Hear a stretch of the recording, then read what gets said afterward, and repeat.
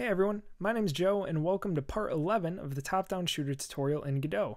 In this video, you're going to learn how to add ammo to weapons, how to allow the AI and the player to reload, and how to make a reload animation so that you can see when you or some AI actor is reloading. Let's get started. So the thing I really want to focus on in this video is reloading and adding the ability to reload a weapon and in fact requiring that you reload a weapon when your ammo is out. But before that, one refactor I want to do just very quickly is to rename our enemy script to be uh, the actor script just to kind of signify that it is our general purpose AI controlled actor script. It's not just um, for an enemy. So I'm going to rename this to be actor and I'm going to hit or hope that when I hit enter right now, nothing will crash.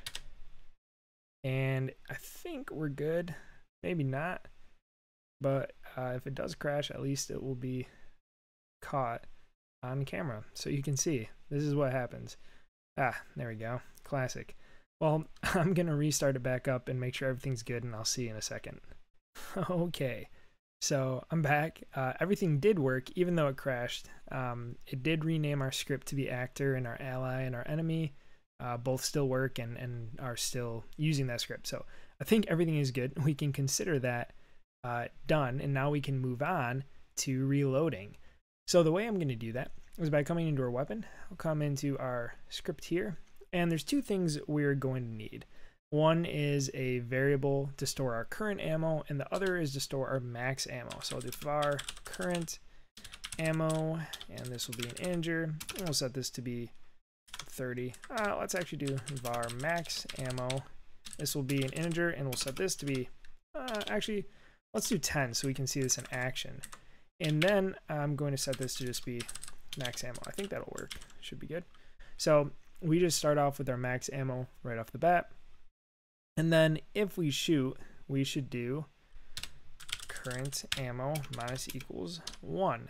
And then, um, so somehow we need a way for our weapon to tell our AI actors, hey, like you've run out of ammo, you really need to reload.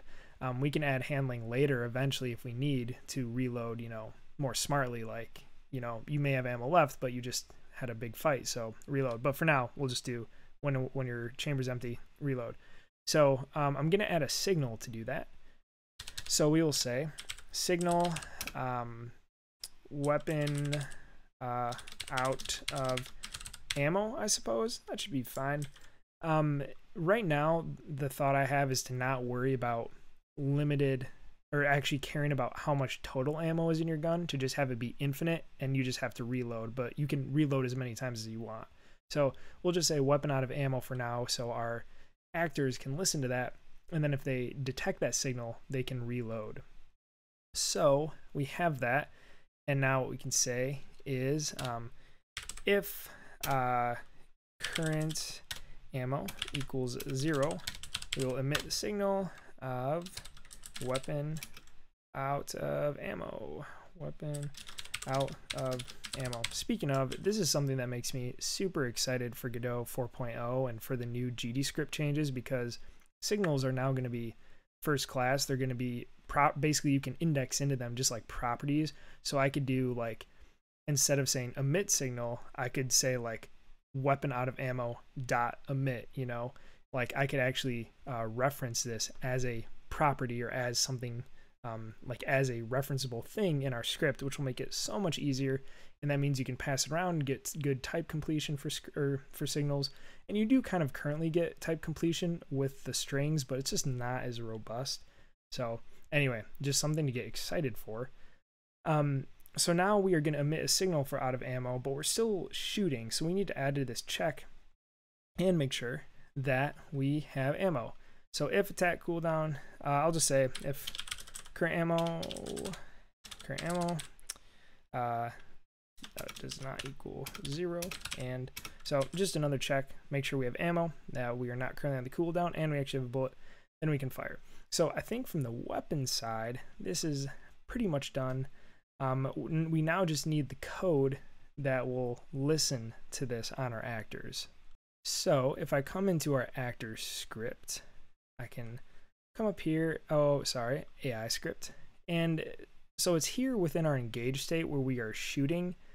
Um, whenever basically we are facing our target, but instead I think we want to reload. So, um, well, I think the best way to do this is in our ready function, we can do weapon dot connect. So we will programmatically connect to our weapons uh, weapon out of ammo, right? This is uh I need to come back in here and oh my, I'm all around. Okay, yeah, weapon out of ammo. So come back to our AI, and here we can just say self, and then just say, um, oh yeah, hmm. So let's just do. I'm just gonna say handle reload. So for now, I'm just gonna make a function in our AI.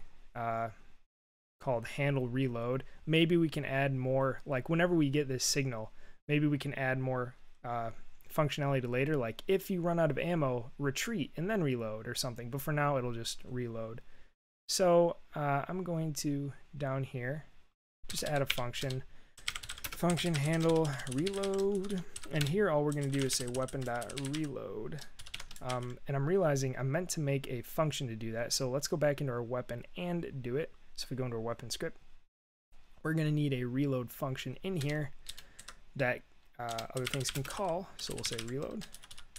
And then we will say uh, current ammo. Ooh. Ooh, yes. So let's say, um, this is a good point. So I can do current ammo equals max ammo, right? But we kind of don't want this to just happen instantly. We kind of want an animation to happen to show it. So I think what I want to do instead actually is um, have two functions. We will say start reload, and then what I'm going to do is say function um, stop reload here. So what I'm also going to do is add an underscore in front of stop reload, and this is kind of GDScript's way of signifying that this is a, a function that shouldn't be called outside of the script. It's kind of like a private function. And so I'm going to actually move our current ammo equals max ammo to here and do that. And what we want to do is actually um, add, actually, let's see here. We're going to add an animation that will play for this. So I'm going to do animation player dot play. And right now we only have muzzle slash, or muzzle flash, not slash. And I'll say reload. And now we'll actually add this animation. So what's going to happen is that we'll make this animation and we'll just play it when you start reloading. And then we will add a function call frame to our animation that will call stop reload and actually update our current ammo to be our max ammo when that animation is done. And that way, uh, you're not instantly getting all your ammo back. You have to wait for the animation to finish. So let's add that animation now. So if I go to our animation player, I'll say new. We'll call this reload. And so there's going to be two things we want to do. Um, so unfortunately, if I come into our enemy here, um, we don't really have provided to us a reload animation with this pack, but that's totally okay. We can improvise, improvise and just make something simple, similar to how we kind of you know made a decent looking muzzle flash with just one sprite. We can make a reload that looks you know totally fine for our, our purposes, just so that there's some visual cue that that's happening. And I think what we're gonna do is just rotate our weapon like this, so it looks like you know you're moving it towards this other hand a little bit and you just kind of bring it back, reload, and then it comes back. So it'll just kind of rotate, like still be here, but rotate like this, and then come back. And then once it gets back to here is where we'll call that function the stop reload. So here we're going to add a property track to our weapon sprite. And this will be rotation degrees. And so let's see. Let's start with a second that's kind of seems kind of long, but we'll see how it goes. So I want to start rotated at zero, and I want it to end at zero. Um, do I not have snap on? That's weird. Let's make that be exactly at one. But then in the meantime, I want it to be rotated 90 degrees. So if I do this, uh, negative 90 is what I was thinking in my head. So we'll just, you know, move it back and rotate it. Um, I think this is gonna look weird because it's like ro- it's not um, uh, it's not rotating like at this part right here. So uh, we'll, we'll see how it looks and we'll come back to that. So we'll do that. And then what I also want is this call method track, which we discussed.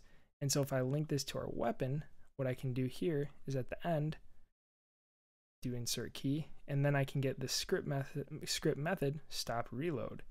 And so now we'll be calling stop reload when we get to the end. So within our weapon, when, when we start to reload, we will play reload. And then once this animation gets here, it will call stop reload and we'll be good to go. And just like that.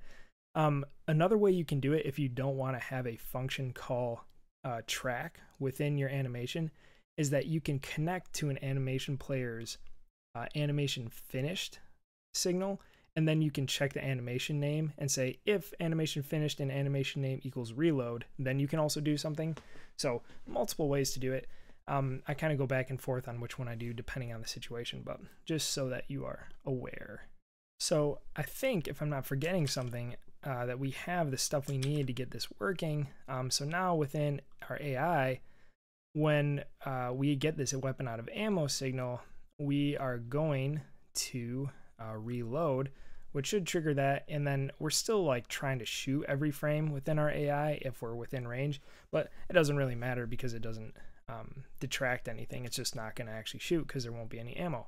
So I think it should be good, um, or that our AI should be good now to actually shoot. The next thing I want to do is actually add a input key for the player to reload and it'll it'll feel a lot nicer once we actually have a UI that shows you how much ammo you have. But for now, we will just come up to project, go to project settings, do input map, and I'm going to add a reload action. We'll add a new key here, and it'll be R, classic. Close that. Now if I come to our player script here, I can add a reload function, function reload, and um, I can just say weapon dot start reload. That should be good. Uh, did I type that as a weapon? So it should, let me just try this again to make sure it, that's weird. Why doesn't it have the auto completion for start reload there? Let me just make sure I didn't mess it up. It is start reload. So that should be good. let me also make sure I said start reload in our AI because I feel like I said just reload. Yeah, I know me that's for sure.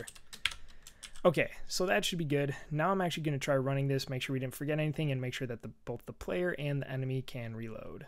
So now if I run this, we should see, oh, no, we were so close.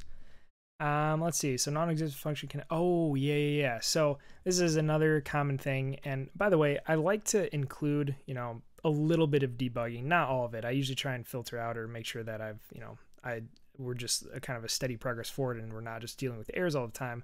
But I do like including a few errors and trying to get over them because I think it helps when you're new to Godot and new to having problems to kind of run through what problem solving looks like and what debugging looks like um, with with someone else, just so you can kind of get a feel for it and um, it kind of helps you to know where to look for problems. So that's why I include some of these errors in here and why it isn't just a perfect script that has no errors.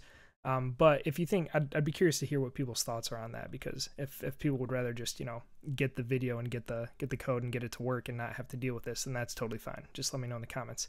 But anyway, so the problem here is that we're trying to call weapon.connect from our AI, but remember our AI and our weapon are sibling nodes, so we can't guarantee that they've been readied up at the same time. So when our AI is ready, our weapon may not be ready. Um, and this is exactly the reason, and I'm going to copy this and cut it. This is exactly the reason that we have an initialize function that our parent calls. Because when our parent, our enemy in this case, is ready, we know that every child is ready. So we wait for our enemy to be ready to call initialize to tell our AI that, hey, all these things that you need, they are now ready. They're now ready, excuse me. And so we can do the same with our connections here. We know that our weapon is ready, so now we can connect it uh, connect that out of ammo signal and we won't get trying to connect to a null object because it's not there. Before I even try running this again though, even though we did fix that issue, let's actually um, add some handling for our reload action because we added that input, but we never actually added mapping for it.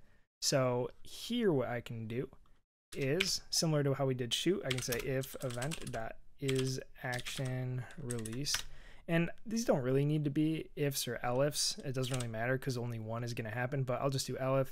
If action is released, reload. Then we can do weapon dot uh, start reload. There we go. So now if I come out here, um, oh, why is our, our muzzle flash shouldn't be showing? What I'm gonna do, I think, just I think if I run this, we'll see our muzzle flash. yeah, that's kind of dumb. Okay, so I'm gonna come into our weapon and just to like make sure I don't have to care about whether I have this on or off in the editor if I messed it up, I'm just gonna say um, on ready. So we'll say function ready, and I'll just say muzzle flash. Oh, I guess I didn't don't have a reference to it. All right, that's fine. So on var muzzle flash equals muzzle flash, and I'm just gonna say muzzle flash dot hide. Um, this is a way like if there's things that you don't actually want to be there in your game, or at least not to be visible by the start, but you still want them in the editor just to see what it looks like. Uh, you can sometimes do something like that where like I could have this visible in the editor just to see what it is and then you know I come into our script and I just hide it when the game starts. Generally, I don't like doing that um, for most things because you can forget you've done it and sometimes leads to weird behavior. But I'll just do that for right now so I don't have to worry about um, everyone's muzzle flash just being there by default. Okay, so now if we run this, no muzzle flashes are visible. That's good. And if I try attacking and I keep shooting, I'll see if I run out of bullets here in a second. I think it's 10. I stopped counting, but yeah, okay. So I can't fire anymore. So I've run out of bullets. Now if I hit R, there's my reload action, which is sweet. Look at that animation. And now I can keep firing. And because our player currently can't die, what I can do is just let uh, our enemy fire at me and see if they reload. So we'll let this guy have 10 bullets. Oh my gosh, he reloads and fires again. Look at that. Oh, it's so cool.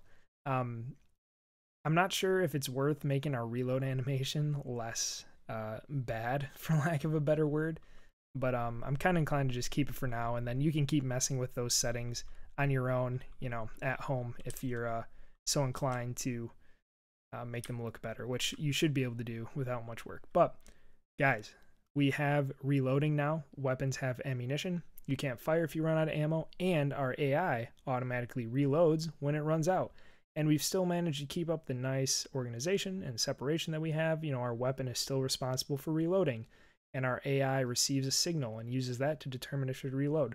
So I'm pretty happy, I think, with uh, how all this stuff has turned out, and we've been able to keep adding features without having to compromise.